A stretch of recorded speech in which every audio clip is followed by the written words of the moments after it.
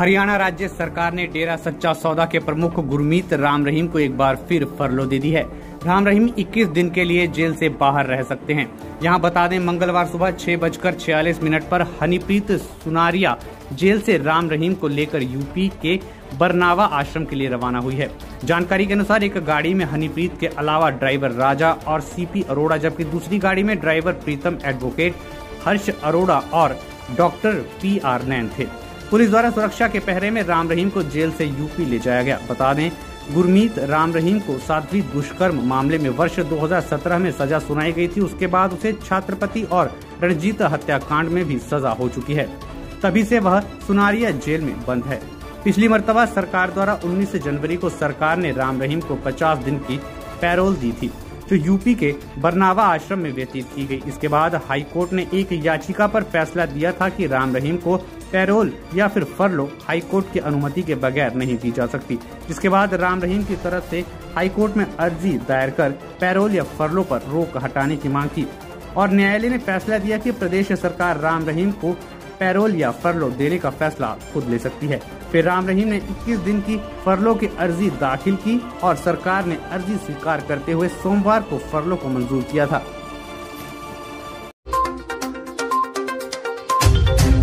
भारत देश 15 अगस्त को 78वां स्वतंत्रता दिवस मनाने जा रहा है। इस दौरान समूचे देश में खंड स्तर से लेकर जिला स्तर और राज्य स्तर तक कार्यक्रमों का आयोजन किया जाता है। वहीं दिल्ली के लाल किले पर भव्य कार्यक्रम का आयोजन किया जाता है। स्वतंत्रता दिवस के मौके पर लाल किले पर ध्वजारोहण के लिए विशेष मंच तैयार किया जा रहा है। इस मंच से प्रधानमंत्री नरेंद्र मोदी देश को संबोधित करेंगे और राष्ट्रीय ध्वज फहराएँगे। स्वतंत्रता दिवस के मद्देनजर लाल किले की सुरक्षा व्यवस्था चाक चौबंद की गई है। स्वतंत्रता दिवस के मौके पर हर वर्ष लाल किले पर ध्वजारोहण के लिए विशेष मंच तैयार किया जाता है। लाल किले के इस मंच से प्रधानमंत्री नरेंद्र मोदी देश को लगातार ग्यारहवीं मरतबा संबोधित करेंगे और राष्ट्रीय ध्वज फहराएँगे। स्वतंत्रता दिवस की तैयारियों के चलते लाल किले को सजाया संवारा जा रहा है। हर वर्ष देश के भिन्न भिन्न हिस्सों से लोग लाल किले पर कार्यक्रम में पहुँचते हैं। सुरक्षा व्यवस्था का भी पुख्ता इंतज़ाम किया गया है और सुरक्षा के मद्देनजर दिल्ली में paragliders para motors hand gliders microlight, aircraft hot air balloon, para jumping और ड्रोन पर भी प्रतिबंध लगाया गया है।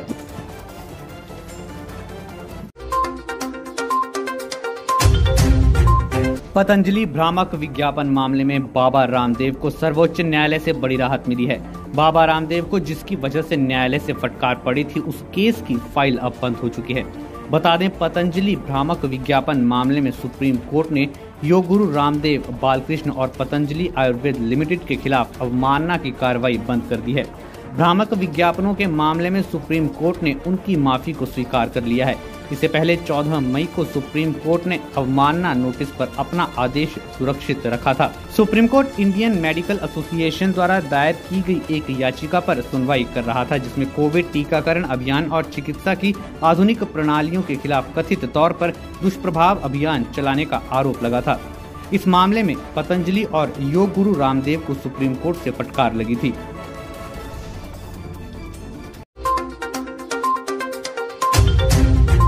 कोलकाता के आरजीआर अस्पताल में महिला डॉक्टर के साथ दुष्कर्म और हत्या के बाद देश भर के अस्पतालों में रेजिडेंट डॉक्टर्स ने काम बंद रखा हुआ है और डॉक्टरों द्वारा लगातार प्रदर्शन किए जा रहे हैं, जिससे अस्पतालों में समस्याएँ भी बढ़ गई है। वहीं दिल्ली एम्स ने डॉक्टरों के विरोध प्रदर्शन को लेकर चेतावनी दी है।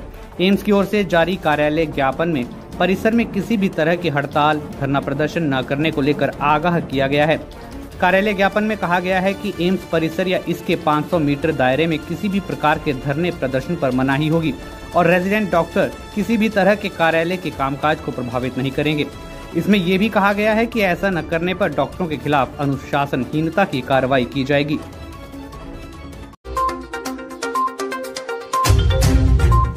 अडानी मुद्दे पर अब सियासत गरमाने लगी है। कांग्रेस केंद्र सरकार को पूरी तरह से घेरने के मूड में नज़र आ रही है। कांग्रेस ने इस मुद्दे को अब संसद से लेकर सड़क तक ले जाने का ऐलान किया है। बता दें, हिंडनबर्ग ने सेबी प्रमुख माधवी पुरी बुज को लेकर एक रिपोर्ट जारी की थी। इस रिपोर्ट के बाद केंद्र की भाजपा सरकार विपक्षी दलों के निशाने पर आ गई है। कांग्रेस के वरिष्ठ नेता के सी वेणुगोपाल ने मंगलवार को एक प्रेस कॉन्फ्रेंस की। वेणुगोपाल ने ऐलान करते हुए कहा कि कांग्रेस पार्टी देश भर में 22 अगस्त को प्रदर्शन करेगी। कांग्रेस ने मामले को लेकर सेबी प्रमुख का इस्तीफा मांगा और जेपीसी की जाँच की भी मांग उठाई है।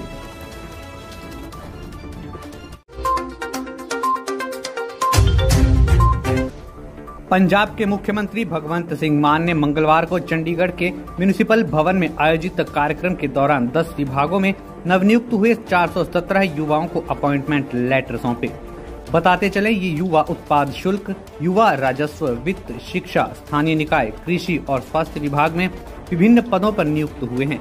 उन्होंने कहा कि अगर किसी को भी डिग्री के मुताबिक अपने देश और प्रदेश में ही नौकरी मिले तो कोई विदेश क्यों जाना चाहेगा? उन्होंने कहा कि नौकरी एक सपना ही बनकर रह गया था, लेकिन आज ऐसी क्रांति आई है, जिसमें आम लोगों ने अपनी भागीदारी सुनिश्चित की है। इस दौरान मुख्यमंत्री मान कांग्रेस और शिरोमणि अकाली दल पर भी हमलावर हुए। एक दिन मैं ਸੁਣ ਰਿਹਾ ਸੀ ਟੀਵੀ ਤੇ। ਕਹਿੰਦੇ ਜੀ, ਕੈਪਟਨ ਮਨਿੰਦਰ ਸਿੰਘ ਜੀ ਦੀ ਬੇਟੀ ਲਾਂਚ ਹੋ ਰਹੀ ਹੈ ਰਾਜਨੀਤੀ 'ਚ। ਲਾਂਚ ਹੁੰਦੇ ਹੈ ਲਾਂਚ ਜਿਵੇਂ ਰਾਕਟ ਨਹੀਂ ਲਾਂਚ ਹੁੰਦੇ ਲਾਂਚ ਕਰ ਰਹੇ ਹਾਂ ਚੰਦਰਯਾਨ ਲਾਂਚ ਕਰ ਰਹੇ ਹਾਂ ਇਹ ਲਾਂਚ ਹੁੰਦੇ ਐ ਇਦਾਂ ਰਾਜਨੀਤੀ 'ਚ। ਵੀ ਇਹਨੂੰ ਲਾਉਣ ਲੱਗਿਆ ਜੀ ਅੱਜ ਇਹਨੂੰ। ਰਾਜਨੀਤੀ 'ਚ ਵੀ ਇਹ। ਉਹਨੇ, ਮੈਂ ਚਲੋ ਸੁਣ ਲੈਂਦੇ ਹਾਂ ਭਾਸ਼ਣ ਦਿਓ। ਕਿਉਂਕਿ ਮੈਨੂੰ ਪਤਾ ਸਾਹਮਣਾ ਤਾਂ ਮੇਰੇ ਨਾਲ ਹੀ ਪੰਗਾ ਤਾਂ ਮੇਰੇ ਨਾਲ ਹੀ ਪੈਣਾ ਹੈ ਮੂਰੋਂ। ਸੁਣ ਲੈਨੇ ਮੈਂ ਕਿਹਾ। ਪਹਿਲੀਆਂ ਚਾਰ ਲੈਣਾ ਚ ਮੈਂ ਕਿਹਾ ਲੈ, ਇਹ ਤਾਂ ਗਿਆ ਗਾ ਉਹਨੇ ਕਹਿਣਾ ਸੀ ਕਿ ਮੇਰੇ ਪਿਤਾ ਜੀ ਨੇ ਪਟਿਆਲੇ ਦੀ ਵਿਕਾਸ ਤੇ 144 ਕਰੋੜ ਰੁਪਏ ਖਰਚੇ। ਉਹਨੇ ਕੀ ਕਿਹਾ? ਮੇਰੇ ਫਾਦਰ ਨੇ ਪਟਿਆਲੇ ਦੇ ਵਿਕਾਸ ਤੇ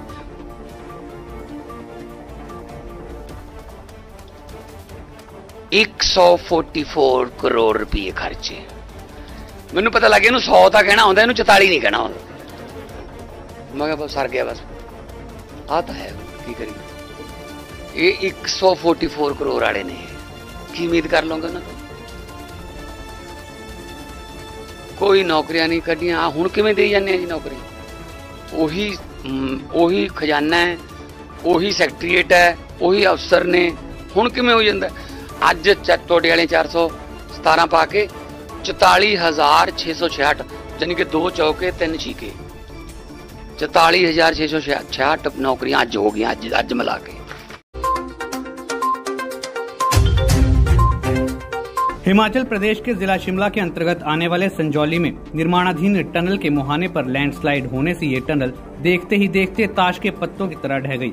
आपको बता दें, ये भूस्खलन संजौली के चलौठी में बन रही टनल के एंट्री गेट पर हुआ है। इस दौरान मौके पर यहाँ अफरा तफरी मच गई और काम कर रहे मजदूरों ने भागकर अपनी जान बचाई और कोई जानी नुकसान होने की खबर नहीं है। जानकारी के अनुसार परवाणों से शिमला तक फोरलेन निर्माण का काम चल रहा है।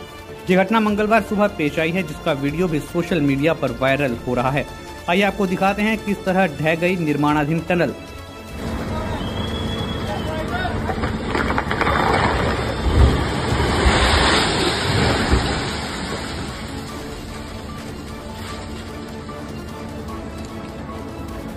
ताज़ा अपडेट्स व बड़ी खबरों के लिए सब्सक्राइब करें आज प्रकाश टीवी और बेल आइकन दबाना ना भूलें।